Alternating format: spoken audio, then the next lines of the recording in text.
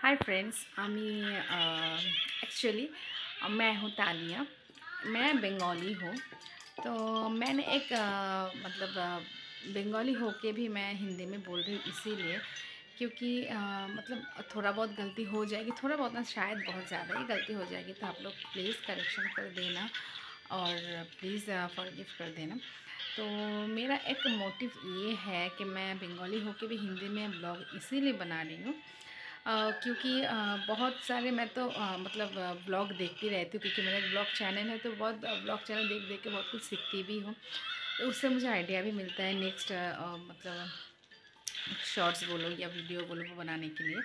तो मैं इसीलिए मतलब वहाँ पे ना बहुत सारे कमेंट्स मैं कहीं करने जाती हूँ तो तो देखते मतलब देखती हूँ। वहाँ पे ना बहुत लोग बोलते हैं, जो लोग बंगाली नहीं समझते, वो लोग वो जो ब्लॉग चैनल है, वो अगर अच्छा भी लगे फिर भी ना वो लोग समझ नहीं पाते हैं इसीलिए मतलब वो लोग मतलब उसको एंजॉय नहीं कर पाते समझते ही नहीं तो एंजॉय कैसे करेंगे कि क्या हो रहा है क्या चल रहा है?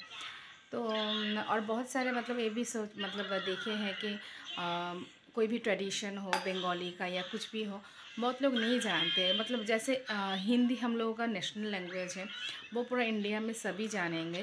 तो जहाँ साउथ चले जाए नॉर्थ चले जाए ईस्ट वेस्ट जहाँ भी चले जाए तो इसीलिए मैं सोची कि बंगाली लोगों के जो ट्रेडिशन है, हम लोग क्या हर रोज़ मतलब कैसे हम लोग के लाइफस्टाइल होते बेसिक लाइफस्टाइल में ही हम लोग जीते हैं। ऐसा नहीं कि बहुत हाई फाई हो या फिर कुछ एकदम लो हो, ऐसा भी नहीं है।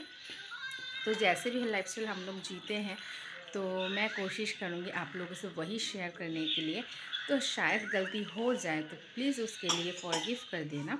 तो ये एक इंट्रोड्यूस मतलब ब्लॉग है। तो इससे पहले भी मैं, ऐसा नहीं है कि ये मेरा फ़र्स्ट ब्लॉग है इस चैनल में। बहुत सारा ब्लॉग मैं पहले भी शेयर करके रखी हूँ। उतना मतलब उसमें व्यू और कुछ भी नहीं आया है, क्योंकि मेरा ज़्यादा दिन का पुराना चैनल है नहीं। लेकिन मैं जो शॉर्ट्स बनाती हूँ वह उसके उसमें बहुत ज़्यादा व्यू आते हैं।